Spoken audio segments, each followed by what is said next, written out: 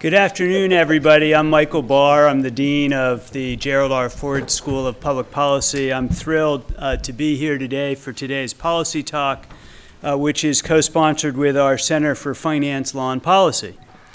Today's event is part of the Ford School's Towsley Foundation Policymaker in Residence program.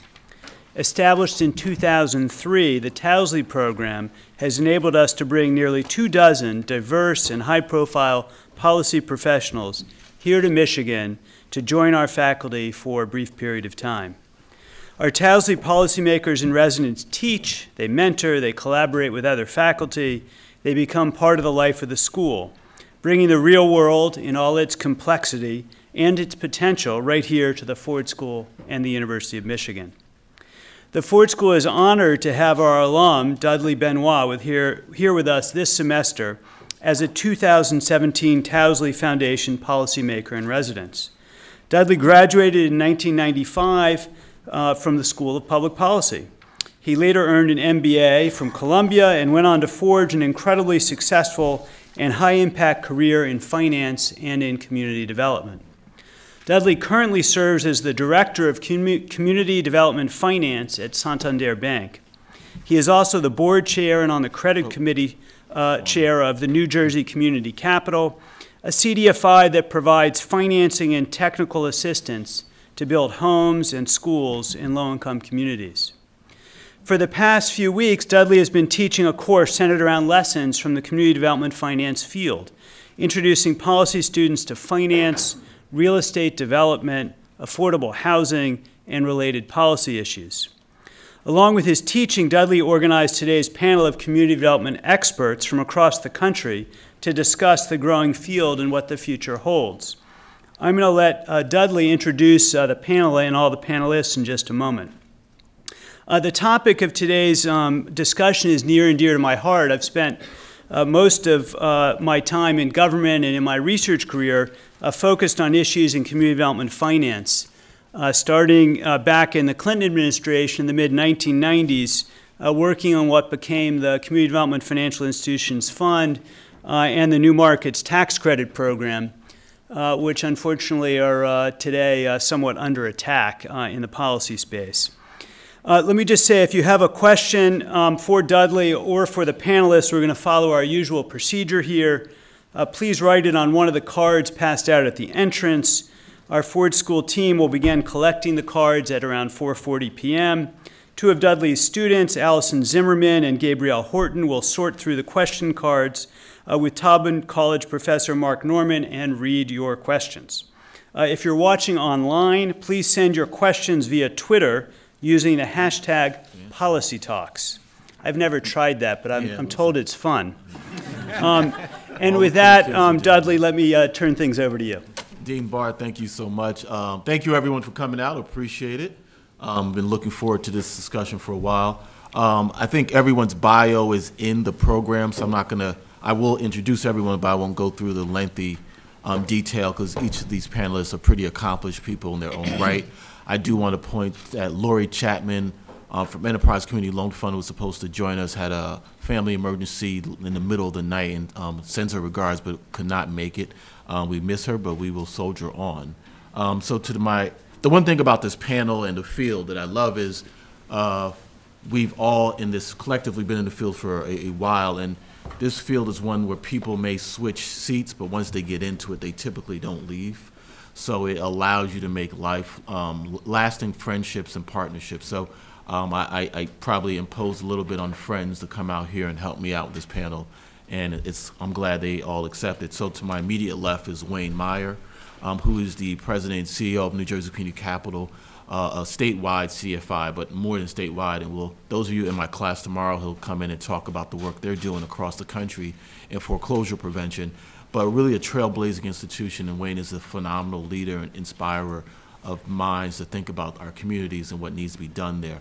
I've had the pleasure of serving on the board of New Jersey Community Capital um, probably going back to 2003. And I just recently, so I should have updated the bio, just recently had to mandatorily rotate off of Wayne's board, but I was board chair for Wayne for the last five years and watched him do amazing things at his organization. Um, to Wayne's left is Lela Wingard, someone who I worked with probably about the better part of 15 or 16 years at JP Morgan.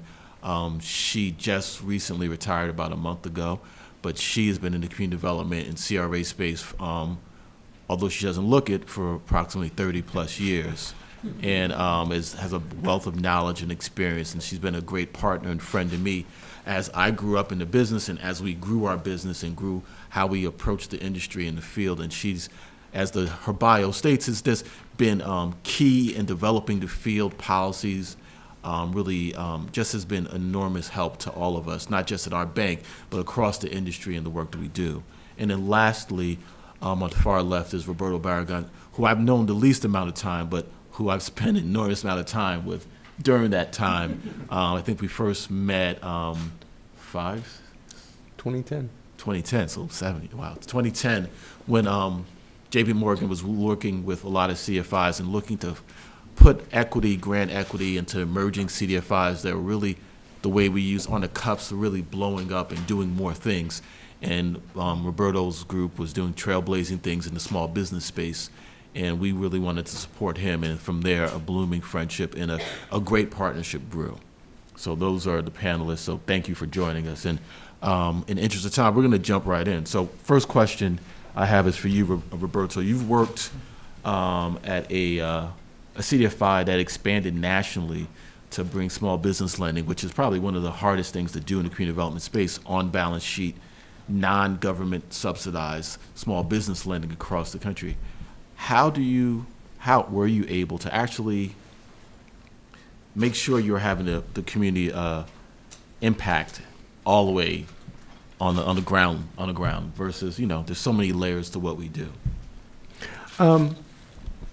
As a add-on, I've been in running uh, nonprofit organizations, some CDFIs for the past 30 years. And the days where you can have a plan, a program, a structure developed, and then go in the community and try to deploy, try to implement, um, are days past. Um, unless you understand uh, clearly what the needs are of a community, what you want to do will not match. And there's, you know, projects and programs and funds all across the country that have been great examples of that failure. The fact is, is that in, you know, to the extent that you want to get something done, talking to, you know, to the community becomes number one. And when it's small business, that becomes a little more complicated. Uh, but for small business, it becomes the local chambers of commerce and the local merchant associations first. And I've implemented programs in Los Angeles, Chicago, Las Vegas, New York, Miami, and San Francisco over the past 30 years. And in, almost every case, my experience has been figure out first what, um, th- how they articulate the needs. And again, chambers and merchant associations are a good place to start with in terms of small business and understand what their members are talking about. But because most of what I've done have done is in lending, the next becomes, of course, lenders, banks, credit unions, organizations that are already there trying to lend or trying to deploy capital, and ask them the very simple issue. You know, why do you say no? And in the case, unfortunately, of banks and credit unions, there's more no's than there are yeses. To small businesses in particular, entrepreneurs, individuals try, trying to start up a business, everything from a you know a, a small convenience store to a, to a bigger uh, manufacturer. You know, you know, what do your denials look like? Why you know why are you saying no to them? Even those who are completing complete applications and bringing in business plans and potentially have collateral and maybe okay credit, why are you saying no? What are the issues and challenges in getting capital into this community? Um, and uh, government. You know, yes, you know, a government's part of the equation, but you know, uh, uh, you know, frequently I would, you know, seek input, but not direction. You know, from government. I, I want to hear from elected official. I want to hear from their staff. I want to, you know, talk to the economic development managers in in the in, um, in those communities uh, to understand what was getting done and what wasn't getting done. What needs were being met, what needs weren't being met. What kind of capital was available, be it, you know, government dollars, private dollars, foundation dollars, and, and, and frankly, understand from them, as well all, as all the parties, is to understand, you know, uh, what they saw as, you know, not unilaterally and not definitively, but what they saw, what was their viewpoint and was their opinion in terms of needs being met and not being met. And finally, the, the, um, um, and finally, after all of that, it's been, it's been, you know, my experience that if you design a program based on the needs, based on the challenges, you know, um, uh, that respond to lower credit scores, that respond to lack of equity available, that respond to no collateral. If you program, if you do a program that's designed to that reality, the potential success of the program is that much higher. Because you, you're, you're not imposing your will, you're not imposing your funder's will on a community. You know, you're saying, you're, you're saying, look at, you know, we're gonna, we're, we have this amount of money to, to, to, to deploy. You know, from our experience and what we're hearing, we're gonna lose ten percent of it. I, you know, uh, developed a program with Chase that was, had twenty percent loss potential. Uh, it was designed that way. It had loan loss reserves, you know, to, to, to meet that. It had, it had, uh, criteria designed for it. And we implemented and were successful in that deployment. Because it was designed to meet, you know, both, you know, um, um, uh, income-wise, credit-wise, you know, ethnically, demographically, to meet that, you know, that certain reality. So just a quick follow-up.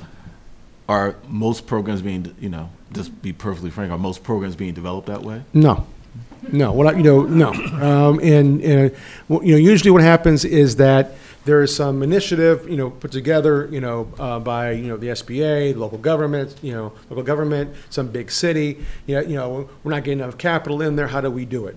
Uh, most recently, SBA launched, you know, in the prior administration, uh, late in the prior administration, a program to serve basically African American populations in Baltimore and, and Latino African American populations in, um, in Los Angeles. And um, they um, uh, talked about, you know, how do we increase procurement and how do we, how do we market a program better and how do we find capital? You know, it's, it was it kind of involved in their own conversation and own kind of just, you know, intellectual conversation that, about what the problems were. And they had no money. They had no money. I mean, it's a conversation, a lot of conversation, but no money. I mean, and at the end of the day, you beget, capital begets capital. If you're gonna have a conversation about a small business loan program, at least, you know, start with the fact that, you know, you know, there's some money available. Because if you don't start with that, that, that kind of, you know, you know, uh, at, the- at the beginning, the rest is just conversation. Got it. Thank you. So Wayne, I'll, I'll turn it over to you. Um, New Jersey Community Capital is, as we mentioned, a statewide organization. Um, but your foreclosure prevention work has taken you to several other states, Florida, North Carolina. I think you're moving into Ohio. Um, so talk about that work, but specifically, how do you um, fit that into the organization's mission? Because that's really wasn't initially the organization's mission. You're really there to work in the communities of New Jersey. And then, how did you get your board comfortable um, with moving outside of your your your your, your natural strategic um, catchment area? Uh, Sure. Uh, Thanks, Dudley. First, let me say it's really a privilege to be here today. And part of what I hope is that we can interest and attract more young talent into the field of community development, and that's certainly a goal at New Jersey Community Capital, and glad to talk to anybody who wants to after this. So, uh, secondly, I need to thank Dudley because he's been our mentor and, a, and a, an amazing leader at New Jersey Community Capital. He's one of those rare guys that if you mention his name around the country, Dudley, you don't even have to say his last name. It's kind of it's kind of like LeBron. I was going to say Madonna, but you know, I was LeBron. Um, but you know, first of all, let me just start by saying that um, the importance of community development organizations, financial institutions, development corporations, to be able to partner and to be able to collaborate on a meaningful basis. And it's something we have not done well in the sandbox together um, over these years. And but I see more and more of that type of collaboration going on. I think it's vitally important because in an age where we're working on more complex transactions among different asset classes, you know, education, economic development, housing, and the like, um, that we really need all the best type of talent to figure out how to how to do that. It's also important if you think about how to allocate capital and how do you absorb capital effectively in some of this work to be able to do that in partnership. I think is is really really meaningful. And finally, it's around risk, right? As Roberto said, how do you manage risk? So to the extent, let me just start by saying it's really important that we think more and more about how we partner. partner. So New Jersey Community Capital, you know, we do, we're statewide CDFI. You know, we provide financing investments to re- rebuild low, moderate income communities around housing, around educational facilities, charters and early child care facilities, around uh, community facilities, uh, around economic development type projects, and really how do we build safe and vibrant neighborhoods in, in the communities that we work in. Um, but New Jersey, as probably many of you know, has had some real housing issues over these last, since the foreclosure crisis, right? I think we've been number one, you know, we don't like to really lead in this type of stuff, but one or two in foreclosures. Uh, we're number one or two in, in amount of seriously delinquent mortgages. Um, we have uh, high negative equity in our loans that we've done. And then, and then we have these other indicators, right? That we're the fourth highest cost burden state in the country. So it drives us crazy when you think that you have all these houses that are frozen in foreclosure. Um, and, and, and you have people who are, who, who have dire need of, of quality, affordable housing. So at New Jersey Community Capital, what we tried to do is, okay, well, how can we respond to this effectively, right? So we, we developed a number of programs. We're a lender, right? That's what we do. So we lend to 100 nonprofits in the state of New Jersey to acquire and redevelop housing, to repurpose it, vacant housing, foreclosed housing, as affordable housing opportunities. We started a nonprofit real estate development subsidiary because unfortunately, a lot of community development groups in New Jersey struggled, right? And, and we've seen that, and a lot of them have imploded. And that's really an issue for another day, but we got to figure out a way to rebuild the delivery system around community development in this country. Um, so we developed this really high-performing real estate development company, right, that really developed in, in lots and lots of housing in, in, in the state of New Jersey. Um, but then if you think about that, right, we're always are lending to groups that are dealing with vacant housing. Our nonprofit real estate subsidiary is, is developing vacant housing. So we wanted to figure out how do we get ahead of the problem, front of the problem. So we created a program uh, which we called the Restart Mortgage Loan Purchase Program. And the idea was simple. You know, mortgages in this country trade every week, right? All the private institutions, equity funds, hedge funds. We wanted to be able to buy mortgages with the goal of trying to reset them keep families in their home through mortgage modifications, and to be able to then, you know, settle the, that, that, the blocks in the neighborhoods that we're, that they're on. And by the way, when a, when a, when a house is vacant, it was an opportunity for us to redevelop it as affordable housing. So we became one of the first nonprofits to buy mortgages uh, from the Federal Housing Administration in bulk under what they called the Distressed Asset Stabilization Program. And as we were doing that, uh, the state of Florida came to us. They, they, they said to us, um, you know, would you guys think about bringing your program to Florida? And, you know, it's not, you know, nice during winter, right? Um, so we thought, sure, you know. Um, but, um, but we had a, it was a really difficult decision for our board, right? Because we're a New Jersey-based organization. That's what, that's what we do. Um, but we thought about it differently in the sense that a, as I went to back before, how do you share best practices, right? How do you collaborate? So, and how does it fit into your mission? Um, so, from our vantage point, it was a public policy imperative because there was a lot of talk around housing advocates around the country saying, you know, your FHA, Fannie Mae, Freddie, you're selling our neighborhoods out to the hedge funds, the private equity funds. So, you know, how can you get more of the nonprofits and units in government involved in this? So we ended up partnering with the state of Florida um, in, in doing that. But we divided what we call our North Star guiding principles, right? First was that it was mission and that we were advancing what we thought was a housing policy. Number two, um, we wanted to make sure that we retained a certain degree of operational influence, right? We didn't, because it was reputational risk, we wanted to make sure that we, we were involved in, in doing that.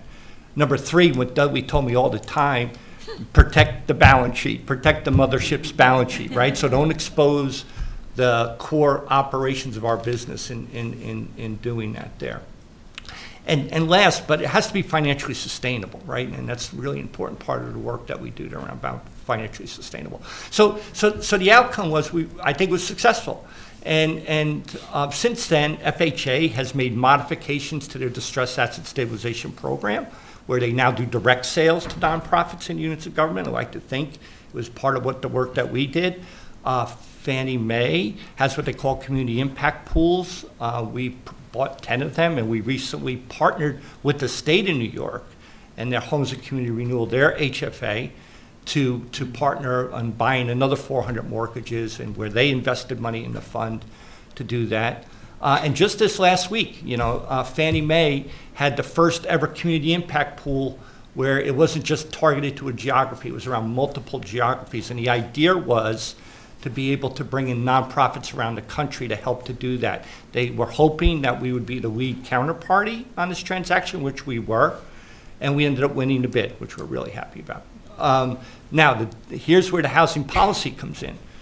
Because we advocated, housing groups around the country advocated that we should be able to get a second look. If we didn't win this bid, because we're going up against equity funds, hedge funds, that if we don't win the bid, we put in a credible bid, we should have the opportunity to match. And um, we lost by 1%, right? But uh, Fannie Mae had to come back to us and said, uh, if you guys are willing to match this bid, you get it. And we did. So, you know, I think about that, you know, so again, it goes back to it's affecting housing policy, it's bringing and strengthening collaborations more importantly for us in New Jersey, we're keeping families in our homes and we're developing affordable housing. So I, I do want to take a moderator's imperative here to toot Wayne's horn.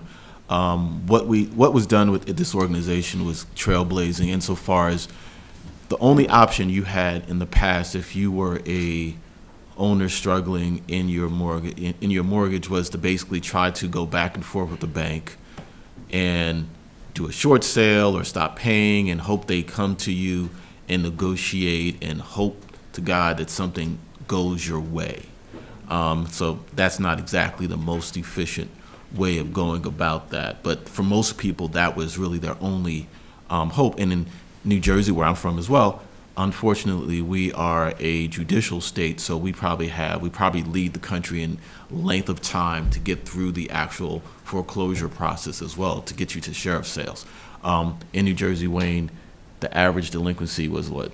People were delinquent like 48. Uh, yeah, about 47 months. So people were delinquent four years on a lot of these mortgages before you can get through the whole process. So that's a long time, and then you end up creating zombie communities. So um, what they were able to do is basically anathema, and part of what Wayne isn't going to talk about is a lot of his nonprofit partners or colleagues were really reluctant to partner with hedge funds because the what Wayne didn't mention on these early funds and to this date, the equity investors oftentimes are hedge funds, really the big hedge funds that you hear about all the time, and they were anathema to partner with them because it was against their mission, theoretically, um, which I thought helping the communities were the mission, but that's a whole nother conversation. And was able to see and make the board and come to me and have the board see the bigger picture is like we have an opportunity to buy 500 loans at a time here, 300 loans at a time here, own them ourselves, have full control about how they get reset, when they get sold.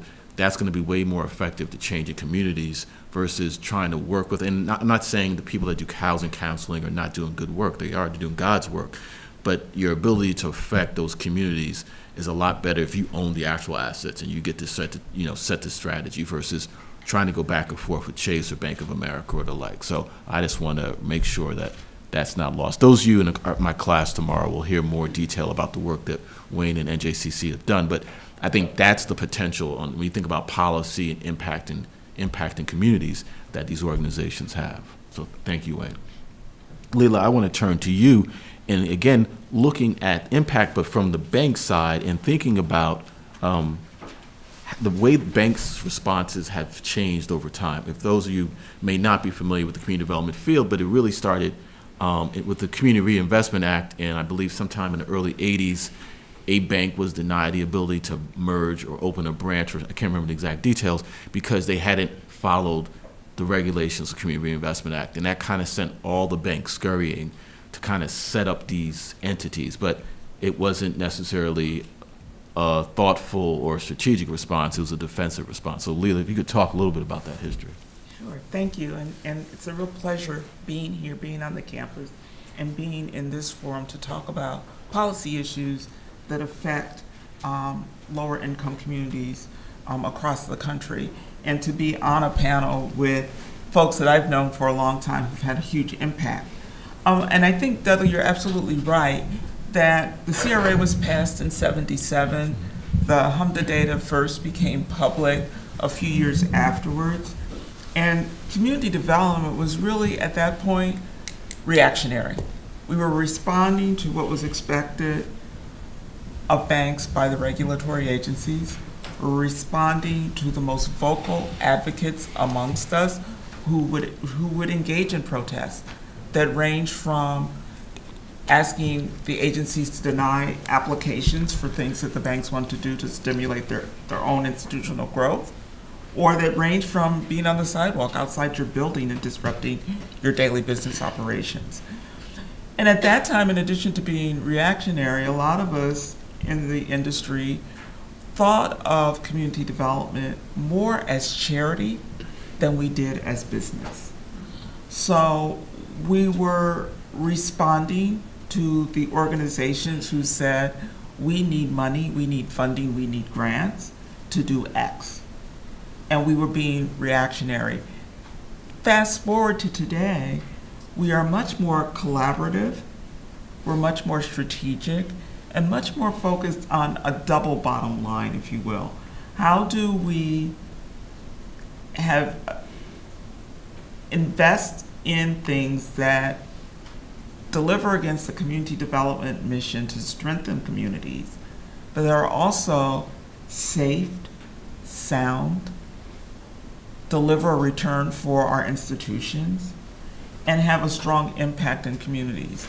Housing has long been the focus of the CRA, but over time, it evolved to incorporate small business and economic development and community services.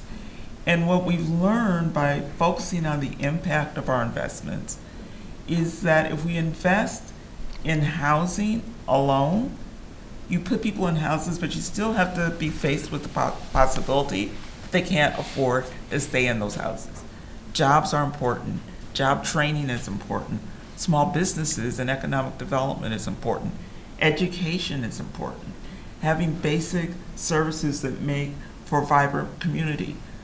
Grocery stores, for example, there's lots of food deserts across this country because no one has invested in opening stores that sell um, fresh food or an assortment of food in those communities, which result in health problems.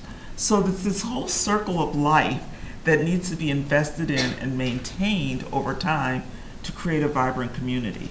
And so I think what's one of the big things is that over time we've become much more strategic about where we invest, who else is investing in those communities, how can we collaborate not only with each other, but with the community organizations.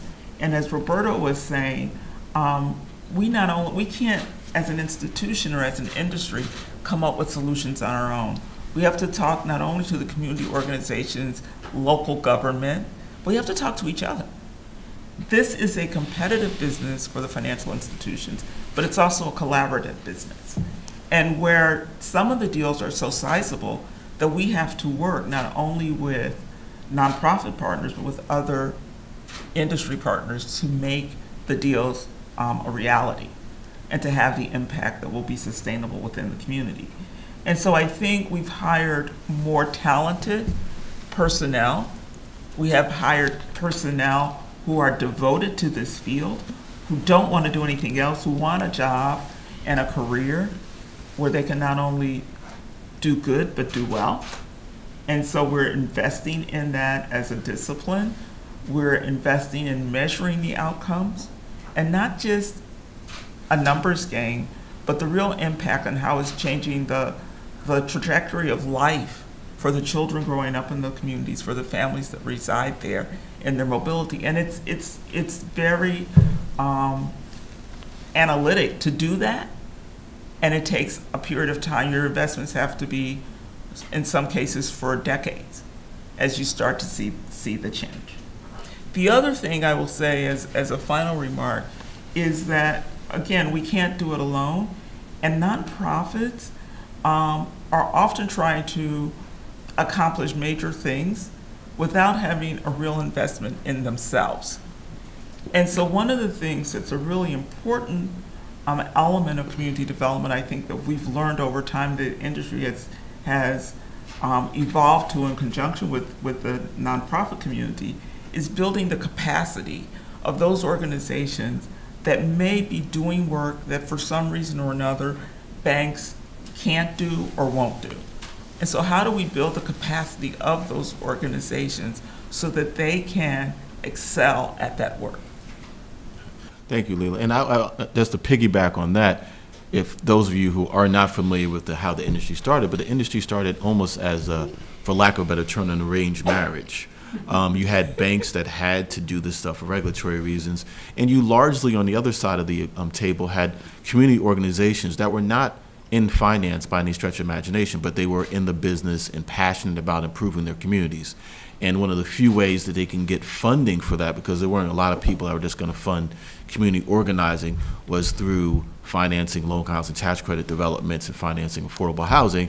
And those developer fees and income would then finance the other parts, the mission parts of those organizations. So you started out in a field where you really had bankers and community organizers working together and kind of winging it and trying to figure it out as they went along to where we sit today, where there's a very sophisticated community development finance field. And uh, like I joked in my class, folks said it, it, it helps a lot of lawyers and accountants send their kids to Harvard and Yale and Michigan. Um, that wasn't probably what folks thought was going to happen when the field started, but that's kind of what happens when you, you create a you know a multi-billion dollar industry, and that's what the community development finance field is today. And that's kind of why I wanted to have this panel really talk about how do you make sure that these needs are being met at the community level because the numbers can get dizzying if you're thinking about how much we do at banks. You know, where my bank recently made $11 billion commitment over five years, right? So how does that actually affect people on the ground? It takes a lot of work and effort, and there's a lot of things that go into that. Um, I want to come back to you, Roberto. Um, as you know, there's been a lot of talk about um, entrepreneurship, small business, and you refer to that some as, but recently an increased emphasis about you know making sure that we're helping small businesses grow and, and bloom and in the low to moderate income areas that we all spend a lot of our time working in there's obviously additional barriers and that's making it harder um, but you know obviously you talked about getting in there and actually understanding needs but what are some of the other things that you've seen that have worked in these communities Well, man, I think um, some of you may be familiar with pro- program from the Small Business Administration called Community Advantage. Community Advantage is an attempt uh, post um, financial crisis to um, give community development financial institutions, which you know that's where my experience is, the ability to do an SBA guaranteed loan. And the magic there is, is uh, many banks use SBA as a product to, to provide additional collateral support to make a small business loan. And banks can do these loans up to $5 million. A number of years ago, the SBA gave CDFIs the ability to do community advantage lending, um, which is, allows us, a nonprofit organization, to make a loan with a 75 to 85% guarantee from the SBA. The magic behind it is it allows us potentially to increase the size of our credit box, to do a loan to a small business that has cash flow but very little collateral, and at the same time, because again, the magic of, of, of the full faith and credit of the United States government, be able to sell that guaranteed portion at, at potentially up to a 10% premium and create another level of income or generate additional income for the nonprofit organization. It's a program that still is in its, it's in its kind of infancy. Um, they did $100 million last year. That pales in comparison to bank lending in, that product, but it's a step in the right direction. Microlending, microfinance, an area you've probably been familiar with, is an area where there's been a lot of, uh, uh, been lots of conversation about its international focus, Mohammed uh, Yunus and the and Grameen Bank, um, and how microlending has allowed you know very poor households in third world countries to increase how, you know, um, income size. In the United States, it's been something that has had um, um, both tremendous uh, tremendous success and some challenges. Um, more recently, microfinance is seen, some, is seen as something that is no longer relevant, but in fact it is. It is, continues to be a major way for underserved populations, particularly African American, Latino small business or entrepreneurs, to get business started and to move them in the direction of real small business lending. Um, the um, most recently, and um, um, while I'm talking about CRA, HMDA and the, and the collection of HMDA data allows us to know what a bank is doing in dis, uh, underserved communities, particularly in terms of demographics. We don't, we have not had that similar kind of tool within small business. There is no requirement for a bank to, to identify whether they're, what, level of number of applications are taken for, from minority businesses um, or approving. And that has been prohibited by something called Reg B out of the Federal Reserve. Most recently, under Dodd-Frank, with the creation of the Consumer Federal Protection Bureau, is a provision that, uh, uh, that's called 1071, that allows for the collection of that kind of demographic data for small businesses um, from banks it's been, you know, I personally have been involved in that fight for the past 20 years to get that information because as a small business lender, that would change the game. That would basically put uh, uh, banks and all financial institutions under some level of requirement to ex- at least provide data and then be able to respond to, you know, you know, in, the inadequacies in that data. As you've seen, you know, uh, of the past, this past week, CFPB has been in the news quite a bit. Um, there's supposed to be changes there, and I'm praying that doesn't necessarily affect 1071. Lastly, um, one of the things that uh, financial institutions increasingly have, be, have begun to understand, and, I, and, and, and, Lela spoke to it very, very clearly. In fact, Chase is probably the leading financial institution behind it, is that strategic investments by financial institutions at dollar amounts that are significant can create wholesale change in organizations and in communities. The days where, you know, you, you know, 1,000 here and 2,000 there and 5,000 there to a nonprofit organization doesn't move the needle and hasn't moved the needle for the past 40 years of CRA. The fact is, is that only, the needle, that needle will be moved and has been moved in, in, in, in a number of, situ, of, of, of, of situations, including my own with Dudley ten, seven years ago, that allowed an organization that was $10 million in size in 2010 to go to $75 million over six years by putting equity and strategic investment into an organization and leverage it and grow it the same in a similar way as you do with, with a bank. Um, thank- Dudley, could, could I just please. chime in here? Another, um, thing that, um, I would say characterizes, and I, and Roberto's comments made me think of this, characterizes the evolution of community development is, when I think back over the years, a lot of programs, and lending programs in particular, were started in specialized units within financial institutions, community development groups. Because mainstream businesses within the institution didn't think they were viable, were, had no interest in them, they didn't meet the returns. And what we learned by offering these, these programs within a community development group and tweaking them was that we could do a sustainable business. And then the program, the lending program, the product would be mainstream into our traditional business lines where it could be deployed more broadly across geographies, have a much greater impact. So in a way, community development groups provided an opportunity to do some R&D in the community development field and find a way to deliver product, products and programs to underserved communities in a way that was palatable to the broader organization. I think, I think we have a few minutes left, so I'm gonna ask one more question, and any of you could jump in. Um, as you guys know, um, many of the leaders in the industry that started, they were either founders or instrumental in the growth of industry, or you know, tapping out, retiring, leaving, or for whatever reasons. And we have a great opportunity to refill those seats with the next cadre of leaders. Um, how should the field be doing or focusing and working on increasing diversity in leadership, both at the organization level and the board of directors and the whole kind of the universe of the industry? Uh, That is an amazing question because it's probably the most critical question facing the community development field, at least I know in New Jersey.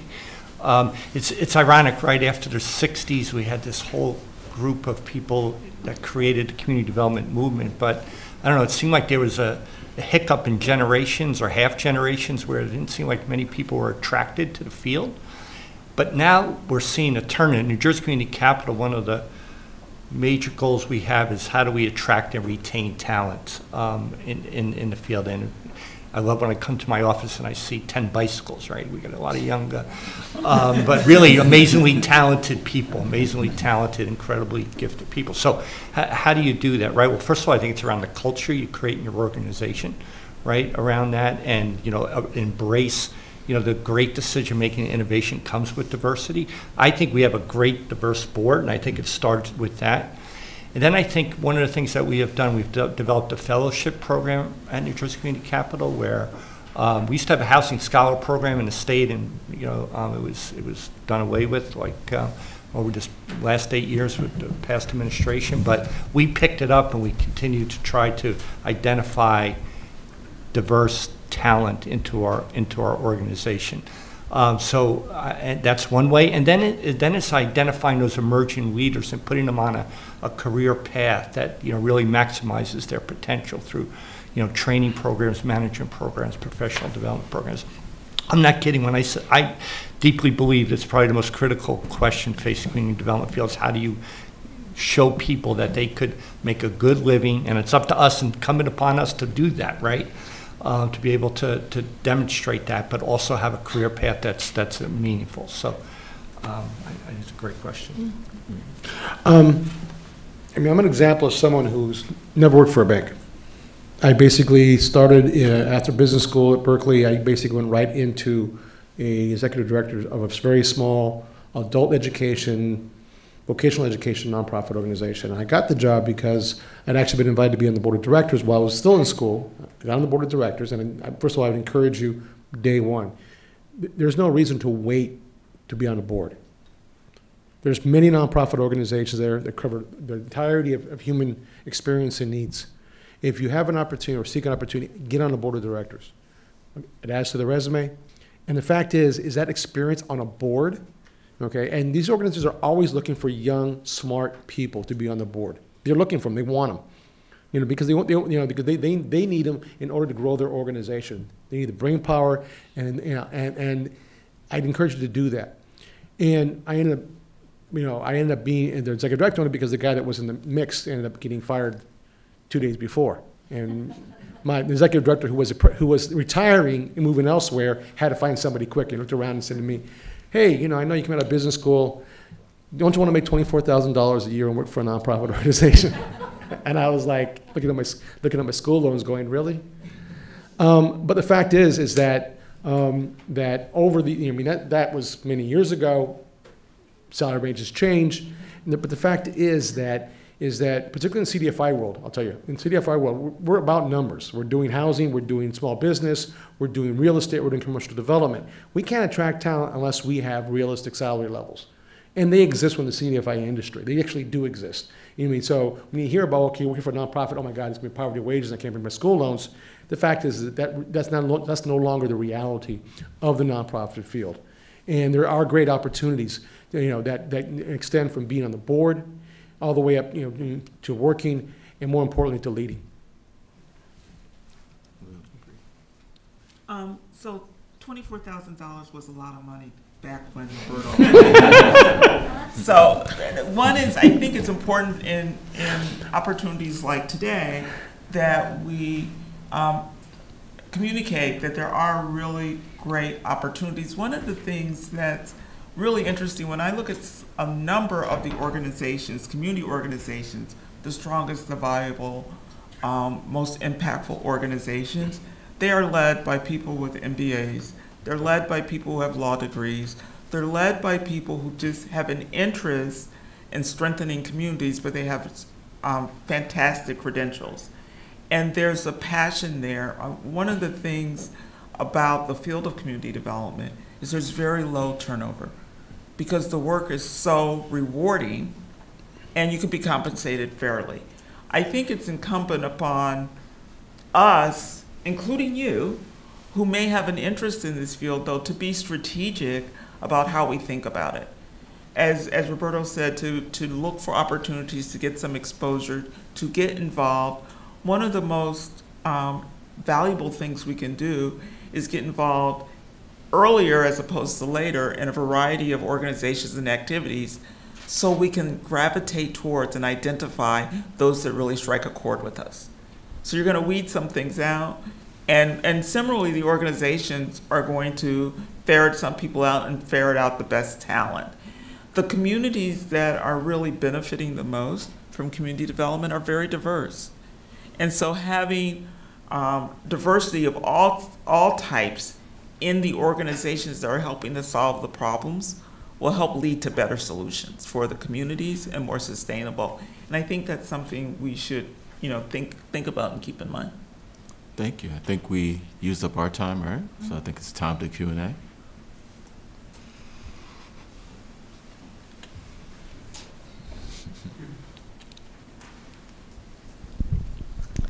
Hi, I'm Allie Zimmerman. I'm a dual Masters of Public Policy and MBA student here in my final year.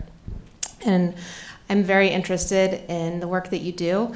Um, I came back to school to learn more about the intersection of policy and business and how we can do good and improve social outcomes by working with the private sector um, after uh, several years working in the nonprofit world. Um, our first question today, start with can you, this is for all of you, can you talk about specific aspects of the proposed tax bill that will impact your organization? Well, I guess I'll go first on that one. Um, part of my job is to originate low-income housing tax credits, um, investments for the bank. For those of you who don't know, the low-income housing tax credit is probably responsible for 95% of the affordable housing that's built in this country every year. Um, as the name denotes, it is a tax credit. Um, so if you take the tax rate from 35% to 20%, you're essentially reducing the value of the credit. Was that 66%? Don't John Chamberlain's up there. My math was never good, but whatever. Um, um, so that's a significant hit. Um, another piece of that was that um, the House version removed private activity bonds.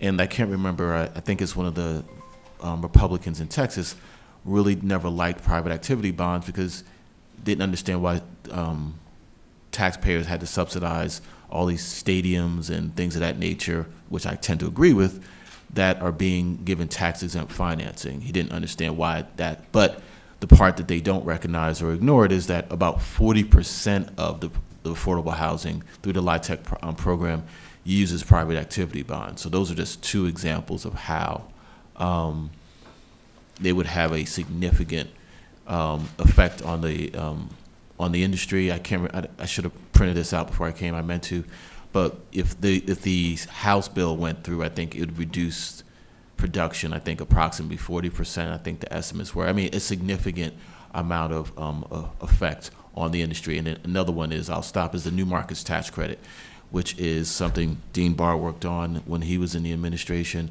That is a powerful program that's been responsible for not only producing great projects, and NJCC has gotten several allocations over the years, um, and it would hurt projects, but it also hurts nonprofits, the CDFIs, because those projects are one of the few ways that um, CDFIs and other nonprofits are able to get unrestricted fee income in significant amounts. So it'd be like a double whammy. Um, and for everything I'm seeing, and hopefully this will change, it doesn't appear that the new markets tax credit will survive either of these bills. Low-income housing tax credit will survive, but it just will be diminished unless there's some last-minute change to what's been proposed.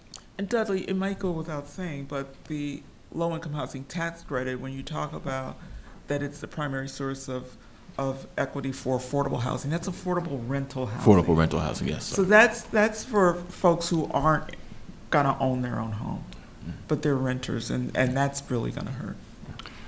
I, I totally agree with Dudley. Uh, Also, the historic tax credits are, are another um, program that's in jeopardy on, under the tax bill. Uh, But the private activity bonds, at least in New Jersey, with the elimination of tax exempt private activity bonds would be devastating. um, Because, you know, uh, that really, in in essence, eliminates the four percent tax credit for low-income housing um, projects. Um, You know, we hit our volume cap every year, and to eliminate it, I, I just don't even know how much, you know, how, uh, how much would really diminish our ability to develop affordable housing. The other thing, less so, is, you know, New Jersey's a, is a high-tax state. Um, And so the elimination of, you know, the state and local tax deduction um, would obviously have an impact. Um, You know, they're going to cap property taxes at $10,000 at least. You know, I guess it's going to go to reconciliation. Not so much in the low-income communities, but as we think about fair share housing and trying to bring affordable housing into higher opportunity areas, which is an important discussion as well, um, I I could see that also having an impact. Yeah, and there's also a cascading effect. I think, I can't remember if they cap charitable do- donations, but when you're capping charitable donations, capping deductions folks can take, especially in high-cost areas, that's going to inevitably have uh, an effect on how much folks are donating to nonprofits and the like. So it kind of all fits together. I would also think that the personal income tax deduction, the, the property taxes, housing taxes would have a huge impact, and not only in high-cost states. And one of the reasons I'm really concerned about that also is oftentimes people think that the only people who live in um, lower income communities or lower income people. And while it's a slippery slope because then, you know, in some cases when non low income people are buying in lower income tracts, you're talking about gentrification. But what we want is not to have concentrated poverty. We want to have mixed income communities. And we it's not just the communities that will suffer, but the families. And and so this limitation, which will be permanent in the tax code, would be really concerning to me. Can I, can a non-panelist add to your list? Sure can. Yeah. So, uh, I think the other, the other, the panelists, I think, uh, done an exceptional job describing the place-based effects, but there are also income effects and health effects in the tax bill that flow through disproportionately to low-income communities. So if you look at the uh, elimination of the um, Obamacare uh, coverage um, that is proposed in the tax legislation, um, the Congressional Bu- Budget Office estimates that uh, it would affect about 13 million, uh, mostly lower and moderate income households. Um, And um, that would be quite significant uh, effects in the community. Similarly with triggers on uh, Medicare and Medicaid under the sequester, under the trigger provisions, those will have disproportionate effects on low and moderate income communities.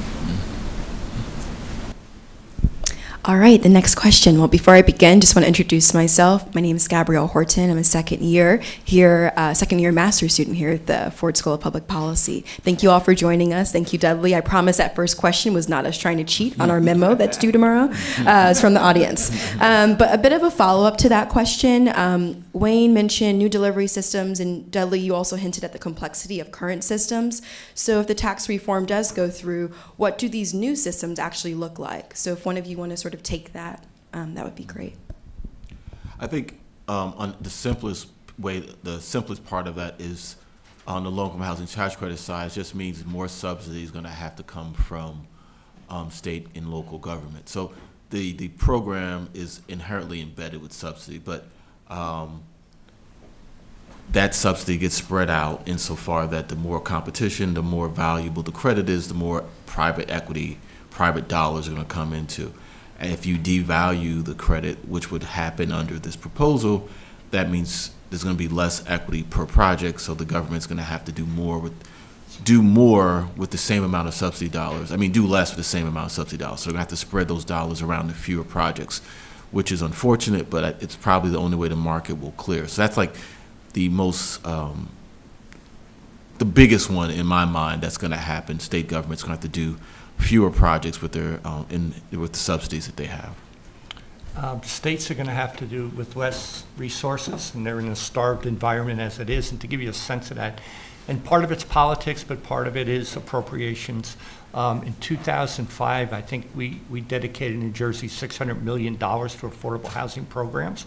Some of it came from the federal government, um, you know, through the home program and, and CDBG and others. Um, last year, uh, New Jersey dedicated 50 million. And, and, and in the meantime, 37% of our renters uh, are severely housing cost burden, meaning they spend more than 50% of their income on housing, which is crowds out things like food and health and things of that nature. So what's that trickle down effect to that? Nonprofits have to really rethink the way they do business. They have to become more entrepreneurial. They have to can't rely on subsidy programs. I mean, we, we need them. Don't get me wrong, but they, you know, if we're going to wait, sit around and wait for a program, we're not going to get much done. So it's going to really, I think, it does have a big impact on, I believe, on our nonprofit community development partners who, who develop a lot of this work.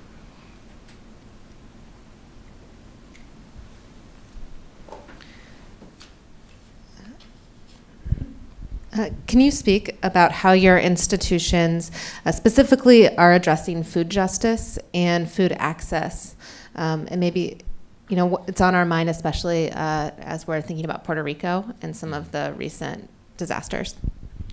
So uh, when I was at Chase, we kind of pioneered with the, with a group called the Reinvestment Fund in Philadelphia, pioneered the first um, kind of coined the term food desert. This was 2003, I believe.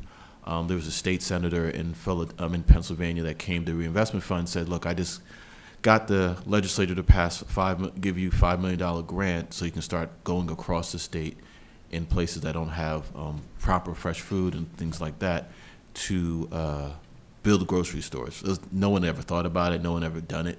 And I get a call from Jeremy Nowak and Don Hinkle Brown at the time. Said, "Look, we need you to help us put together um, finances." So we took that five million dollars and we leveraged that into, uh, I believe, a thirty-five million dollar fund. I can't remember now; it's too long, but I think that's right. And that's kind of where we started with um, that. So fast forward um, to a few years back, and Michelle, um, First Lady of the United States, Michelle Obama, made one of her key initiatives, this whole thing about healthy foods, and a lot of the industry has kind of jumped on that, and they're working on that to the point where we had a big launch event at the White House once. Um, again, at Chase, we helped lead a hundred million dollar fund with uh, the California Endowment and Capital Impact Partners and some others to do fresh food grocery stores across California. Um, the initiative wasn't as successful as we wanted it to be, but it was still a big impact. So, and I think the Treasury, the CDFI fund, now gives CDFIs dollars and has a program specifically targeted at fresh food. So you see a lot of CDFIs, banks, and others partnering on that. And now it's become, it went from being a pioneering idea, the reinvestment fund, to being a part of the infrastructure of the CDFI industry. So I think that's what's so great about the work that nonprofits and the CDFIs are doing, alluding to um, what Lela talked about, what happened with the banks internally. A lot of times we would do R&D internally for products that became mainstream products within the bank. Same things happening for CDFIs. CFIs may at some time or another R&D a program that becomes something mainstream across their industry as well. One of the things I, I admired a lot about that program, the, the Fresh Foods Initiative, and responding to food deserts, is um, that it was a permanent solution. where It was an investment in communities, in some cases, that hadn't seen a grocery store ever, that only had bodegas or corner stores, or that hadn't had a new retail outlet for food shopping in decades. Um, a lot of times, what we have, and it's very important, but it's not a permanent solution, is a response to a specific disaster, which comes in the form of philanthropic dollars and mobilizing volunteers to help. But after the emergency is passed, we don't have a long-term solution to providing food, to providing jobs, to providing a neighborhood economic engine. And so having an initiative like the one that Dudley spoke of is critically important to the long-term viability of communities. And I think um, that's an important piece that I, you know, I didn't even think about because the response to Fresh Foods did that. The stuff that Wayne and his team is working on. Similarly, they're trying to develop not just because the work that Wayne's doing actually resulted first out of Superstorm Stan- Sandy, um, which was a, a, you know, obviously a big issue on the East Coast, and a lot of folks approached New Jersey Community Capital to do some emergency work about what can you do, and that was kind of I think the part of the germ, not completely, but part of the germ of idea for the other issue about well, let's try to figure out how we purchase things in bulk and have an, uh, a larger effect. So that's a very key part of the work that we're trying to do in this industry. Uh, Just, just briefly, that, you know, the food issue, I talked at the beginning about partnerships and collaborations, and we've partnered with the Reinvestment Fund on a number of food shop, you know, supermarkets, food warehouse distribution centers, using our new market tax credit. But it is a complicated issue. Um, I live in a low-income, moderate, low-income community, and every morning when I'm going for my coffee, I have kids on my block, you know, buying Doritos and co- it's like six thirty. I'm like, guys, you guys gotta need to eat that stuff at six thirty. So, you know, I think it's part in the schools as well, you know, and so we, we finance a lot of charter schools, and a lot of charter schools have nutrition programs in, in, in their schools. Um, I think education's a key part of nutrition and health, and, um, you know, we can finance some of the place-based things around that. One of the initiatives that we're, we're beginning to work on and germinate is around, uh, there's a bodega association being formed in Dudley City and Jersey City around how we can, you know, potentially finance, you know, more fresh fruits and vegetables. I didn't realize 100 bodegas in that, in that area. Um, And, and so, you know, so it's, a- it's an evolution. Um, In terms of disaster recovery, uh, when we did our Sandy recovery, FHA did the first ever direct sale, where they ended up directly selling to us uh, 517 loans in the most impacted Sandy recovery areas. It's the first time you ever direct sale. They charged us a a premium, uh, but it was, Because was not competitive. B, O and B made them charge. you. Yeah, O- Office Management Budget made it premium, but we were, we thought it was important enough to control the asset, so. And I, I think another common thing we're talking about here is getting away from products and things and thinking about systems. Because the fresh food, what's happened in the evolution of how the industry works in fresh foods, you're thinking about, okay, you can't just build a grocery store. You have to have distribution centers in places that make sense. So in the past, if you told someone community development organization, a nonprofit should help fund a distribution center, they're like, well, that's not community development, you know. But yeah, if you're trying to build systems that change people's lives, you have to have these connectors. You have to be able to fund infrastructure as well. Um, some of the folks are doing things. I. I know in Detroit they're doing it. and some of the other living cities, they're doing the um, hydroponic farming systems. They're helping folks use abandoned warehouses to grow lettuce and all those type of things. So I think that's another way the industry has evolved, thinking about th- systems versus just thinking about this is housing, this is small business, or whatever. We really, I think, of changing not enough yet, but I think we're getting to a place where we're thinking about the systems that help support communities. All right, this next one is from Twitter, and I love Twitter, so I'm super excited. We got some posts from there. Um, so someone said, "Passion is great, but how do you evaluate whether local nonprofits truly represent the community?" And I'm thinking about this in the context of how we're talking about making sure bodegas, which I also really do love, have access to you know fresh produce. Right? How do you know that that community you know, want to keep their bodega, but they also want all these other amenities that obviously lead to better health outcomes as well. And also thinking about sort of you, your organization scaling nationwide, Roberto, how do you identify these local partners when you're based, for the most part, it's been San Fernando Valley? How do you know that someone in Iowa or Massachusetts is really connected to the communities that they speak about? So if maybe one or two of you all could speak about some of the mechanisms and tools you actually use to evaluate that authenticity. I mean, the, um, when we went into Miami, you know, I spent a number of months, um, talking with the SBA, talking with pretty much every nonprofit I could identify that had a handle on small business. Just talk to them all. Just, you know, didn't come in with, a- didn't come in with a kind of preset notion in mind, just talk to them. And got a sense of what the challenges were, who was doing the lending, who wasn't doing the lending, understanding that there was a great micro lender in the community, so they didn't need me in there to do micro lending. That they basically had other SBA lenders, what they really needed was that fifty to two hundred fifty thousand dollar loan that a bank couldn't do, and that's what we focused on. You know, when we went to, we- we were, we we were, we were asked by a bank to do a, a, a capital access expo in Las Vegas went to Las Vegas, started meeting with all the different nonprofit organizations, and in the middle of one conversation, I had a nonprofit who simply said, "Look, we're, we're out of money. We're going to close down. Will you acquire us and, and bring us into your in, into your organization?" And that, that just came out of an organic conversation in terms of what was going on in that community and what and what is needed. You know, the the, the thing is too is that I, I always get uh, weird about the word represent.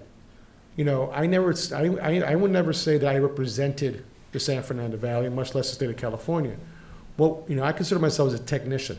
My job is to respond to a need. There's a need for capital access, there's a need for small business lending. I can speak to that need. And I can basically help provide products and programs that speak to developing entrepreneurs and growing small businesses in, in communities. And, and so, you know, I was get, you know, that's, I think, more the role for nonprofits. I get really scared when you get nonprofit organizations who start talking about, I represent this or I represent that. Because that's not the mission of a nonprofit organization. The mission of a non, you know, most nonprofit is to create change in a certain area of human need.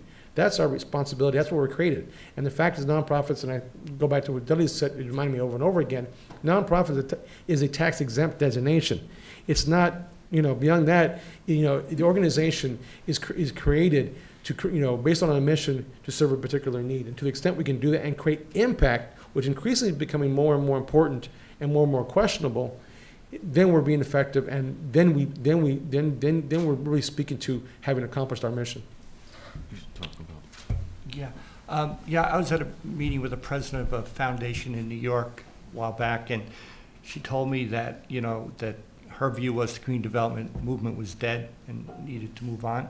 Um, I, I, I obviously totally disagree because I still think local community development corporations work in markets where the private markets don't want to go and government's incapable of going, right? So we work in New Jersey, what we try to do is we take a comprehensive review of how we work in neighborhoods. Uh, we don't do a lot of one-off stuff, right? We work with groups that look to comprehensive, we think about it comprehensive around housing, around education, around food, around economic development. Uh, in order to do that, the groups, and we do have a couple of really good programs in New Jersey, the Neighborhood Revitalization Tax Credit Program, which really forces the nonprofit groups to, when they get resources, to really deep, dig deep around resident engagement. And there's a lot of that type of planning that goes on. And those are the best outcomes in terms of neighborhood revitalization when it comes from the community and the residents. And, and we do have a lot of that in New Jersey. I'm just concerned more that the sector itself is weakening, so they're not going to be able to do as much as they can and, and are cap- should be able to do. And I think a key piece of it is um, very simple listening. Um, the work that Wayne is doing there, and when he came, when I was still board chair, they would come to me.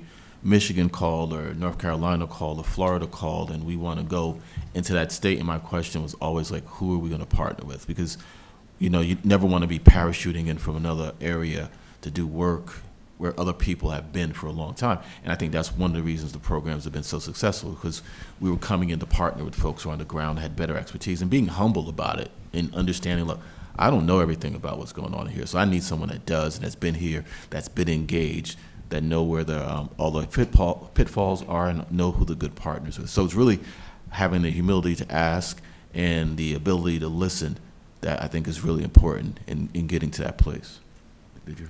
No, I would agree, and having, having people on the ground in various communities. I've, I had the good fortune of working for an organization that had a presence in two dozen states. And I've never seen a CRA evaluation didn't say that affordable housing was a critical need in that community. But they also go into other needs. And those needs might not be that you, some cities have wonderful education systems and others do not. Some have a thriving small business environment and local economy and others do not. So you really have to, to have people on the ground and have a process and a system in place to get the input, to filter through it, to prioritize, to align it with your institution's business objectives, your strengths. I think, and, and narrow it down because we're not, no individual institution is going to be all things to all people or to all communities. So really looking at what are the needs, how do they align with your business objectives, your business capabilities and strengths, and where you can make an impact. And where there's a need where you're not strong, do you have the right relationships and connections to help refer those needs to someone else? And ideally, we can address multiple needs within a community and have an overall impact. Great. Uh, Wayne and Lela, you've both spoken a little bit about recruiting the next uh, class of community developers, and we are a room full of students here. Um, and so it's fitting that one of our questions is what skills or qualities do you look for in a person that you're recruiting into this field, and what makes them most successful? Um, you know, it's interesting. You know, we have a, a, lot of our our younger generation came from public urban planning or public policy graduate schools. Um, they weren't necessarily trained, say, in lending or in real estate development, um, but they were obviously committed to economic and social justice issues, which to us is a really important starting point. Um, you know, have an ability to think critically and analytically, we think is, really important. Um, we think we can train, right? So it's not a matter, we're not looking for people that necessarily come in with a, a, a, credit background or a lending background or a real estate development background. Um, but, you know, um, we've been really ex exceptionally fortunate to, to really, uh, and, and again, having our fellowship program, I think, is also has been helpful. Um, but yeah, that's, that's really, it's, it's more around their, what their commitment and education and passion is around. We'll, we'll, we'll do the training. Yeah, I would agree. I, I've always said that I can teach anyone CRA. Um, I can't teach people if they don't have the desire to be collaborative, to be innovative, to think strategically.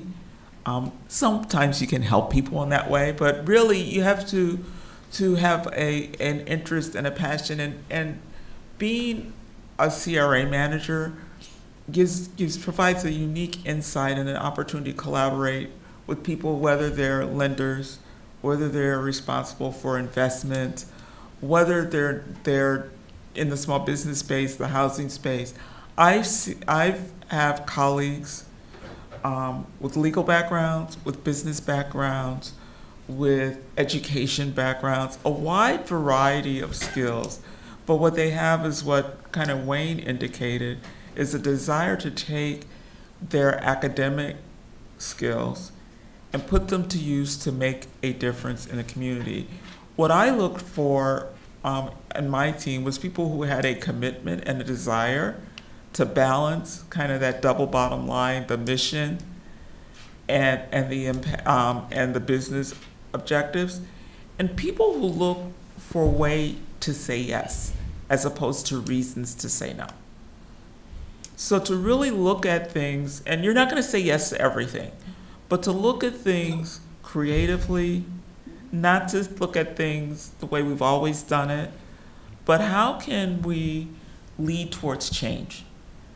And, and that requires some flexibility and some willingness to collaborate and to come up with innovative solutions. Three things. Accounting. Get, you know, know how to look at a balance sheet and look at a, at a financial statement. Real basic, not, not in that whole FIFO, LIFO, you know, um, inventory stuff. Just know how to work your way around a balance sheet and a uh, financial statement. You And know, I didn't, I didn't make him say that, because I've been saying that every class. Yeah. I didn't make him say And I, and I would agree with you. Okay, Because you, you know, it's some, in some mix, whether it's looking at a, bit- at a development opportunity, or looking at a small business opportunity, or looking at a program, you know, um, the ability to build a budget is, you, you know, yeah, is, is huge. Um, good writing skills, being able to write well, you know, um, key. Uh, whether it's because of proposals, whether it's because of, of, of requests, you know, foundation, government, financial institution, being able to write well.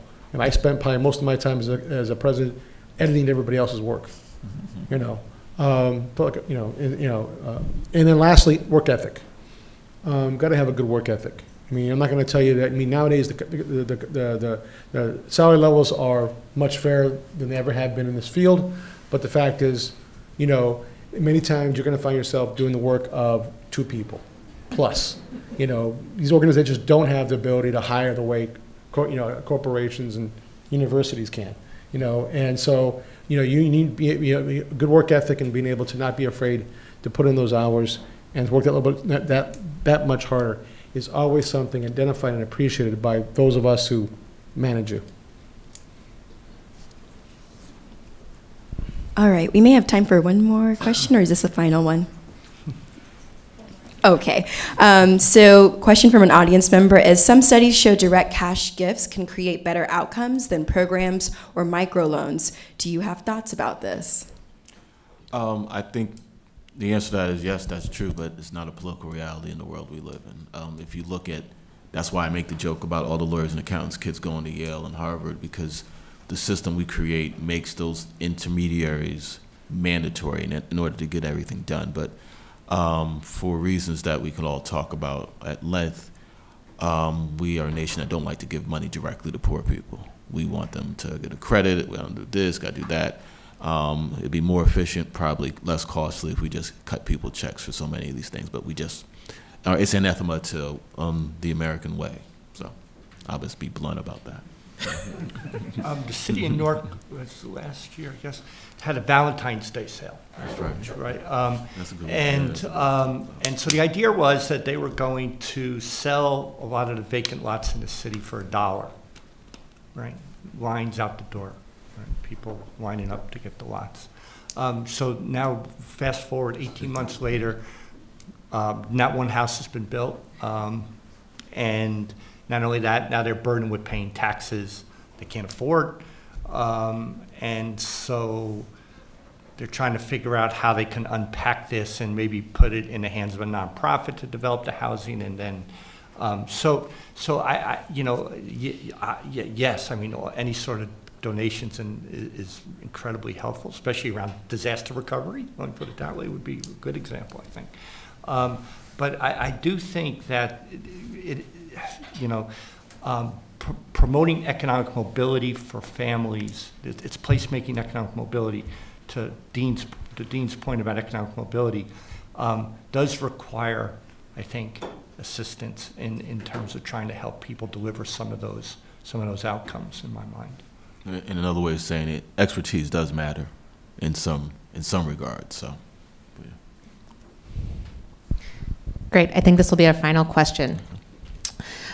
S- Lack of financial literacy often leads consumers into unfavorable loans, contributing to foreclosures. How can we improve financial literacy in this country and in the communities that you work in? Wow. Can I be real glib? You know, let me just, let me, let me get on a soapbox You for a go first, Roberto. the proliferation of online lending, you know, whether it's consumer, whether it's small business, any type of online lending, is way too much money, looking basically to, to, to provide capital 24 hours to folks who, um, in the industry was very unregulated. You know, right now, I think the thing is, is that um, while we do need increased financial literacy and starting at a very young age, i.e., you know, you know, my daughter in middle school, we do need to have that. You know, there also there needs to be, there needs to be an environment that says that, you know what, you know, we will not allow exploitation of people. That we will, you know, that we, you know, you you mean, the amount of regulation that banks face today is huge. The lack of regulation with, with a lot of these funding sources is ridiculous. And so the thing about it is that, I, I- I get concerned sometimes that we blame the, we blame the person and not the system for not, you know, for, for for not, you know, uh, to right, to make that, make that possible. And so I think that w- one of the things that I've worked with organizations on has been trying to get, you know, um, online lenders ju- to just, just, to, just to tell you what their actual APR is, to tell you what their actual fees are, just to provide the information. Because people aren't stupid. If you tell someone it's going to cost them 300% interest rate, they're not going to buy in. If you tell them it's going to be this kind of fee, they will not buy in. So the thing about it is, is that, you know, the, the, the, just the transparency in, in that product and the transparency around financial literacy, that is a huge part of the issue. I, I also think, and Lela knows this better than most, because she dealt with a lot of community groups that um, really came at the, our bank and other banks um, about. Um, so when Bank One and Chase merged, merged, Bank One I think had a huge, a big business with pawn shops and check cashers and all this stuff, and a lot of the community groups basically were really adamant about that we had to get out of that business. And I think eventually the bank got completely out of the business. But the unintended consequence of that is that when you have regulated institutions competing with these non-regulated institutions, that's competition, drives down pricing, may make it a little bit fairer. Now you get every regulated institution out of the business. It's only it's the wild wild west. So they kind of won the battle but lost the war. The community groups they got all the banks to stop doing this stuff, but they they have no lever against Chico's cash check cashing, right? Chico's doesn't care. Protest him all he wants. He actually is, Chico's not even there. Chico's probably in Boca Raton playing golf. You know, so that's some of the things folks aren't strategic in thinking about when they um, sometimes when we get out the pitchforks and the placards and things like that, they're not thinking about systems all the time. Um, but the thing, and this is one of my pet peeves when these type of questions come up, because there's a couple things I like to say. Is like, low-income people aren't dumb; they're just poor. They make extremely rational decisions based on their life. So you get a lot of nonprofits and CFIs are always trying to compete. Oh, the, the rates, like Roberto said, the rates on check cashing are uh, this, are terrible. Why do these people do this? Because it makes sense for their lives. It doesn't necessarily make sense for your life with the savings account, college degree, but for what they do, it makes perfect sense. You're, they're, you're competing on price, they're competing, they're worried about convenience. You know, so a lot of times it's, we have a paternalistic way of looking at these problems. And the last thing I will say is the best way to know how to manage money is to actually have money. we somehow expect poor people to have all this experience and this financial literacy about what the best way to save. If you don't have money, saving is more esoteric. And I don't, I'm not trying to be facetious. You still need to save and things of that nature. But You won't know how to do a, a trust for your children unless you had to be in a position to do a trust for your children. It's just never going to be anything you're going to do if you don't have excess money to do that type of things. You're not going to know how to do um, all the fancy things that folks that have money to leave behind do unless that's something you actually do. So it's kind of, I always find it odd when we talk about financial literacy, just like we talk about education, that's, these are poverty issues. But we don't want to talk about poverty, so we talk about sometimes things that are ancillary to them. So it's just like, thing, oh, Dudley, yeah. if I could, and, and I'll try not to get on my soapbox because when Dudley and I start going back on soapboxes, it never ends. But um, but we have a lot of fun. Um, financial literacy was one element, but there were a lot of causes to the foreclosure crisis, and and my soapbox is we again can't blame it on one factor or mm-hmm. one group of people. And one of the things that we should also keep in mind is what happened with unemployment and who unemployment hit first and who it stuck around with for the longest amount of time. So folks who were already living like on the edge, making their mortgage payments, but they didn't have six months, 12 months saved up, and they lost their job, and it took them a long time to recover, were very vulnerable in that time period. And so again, one of, you know, someone I know says the best community development program is a well-paying job. Mm-hmm. If you don't have transferable skills, if you don't have the ability to recover from or sustain an a temporary interruption in employment or a downsizing that means that you take a less well-paying job, it's very hard to um, maintain your mortgage and your housing payment. So there's a lot of connectivity to broader economic variables that are occurring, which makes the opening question we started with about what's gonna what's gonna be the impact of the tax proposals on community development and on families. A really interesting question because when you start to think about some of the downstream impacts of what this will result in, if all of these corporate savings aren't reinvested in better paying jobs, I think we're going to see many more unintended consequences than are being discussed today.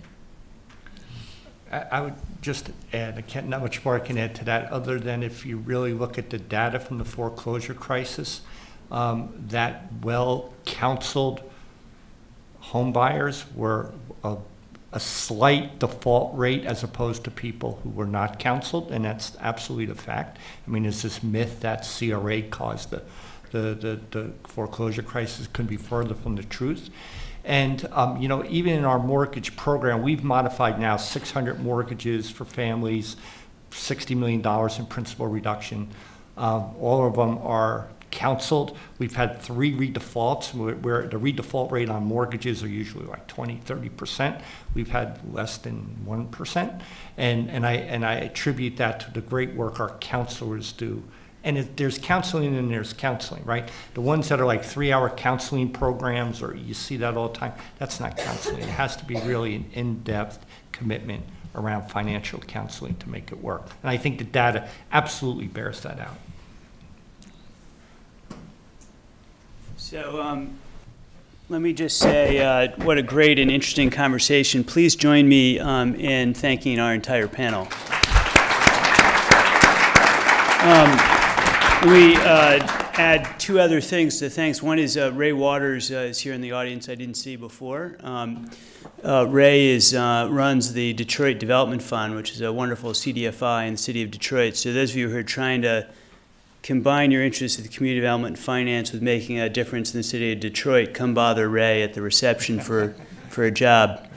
Um, and uh, the, the last thing is, uh, please join us in the, uh, in the Great Hall for a reception for, um, uh, in honor of this panel, and uh, thank you once again.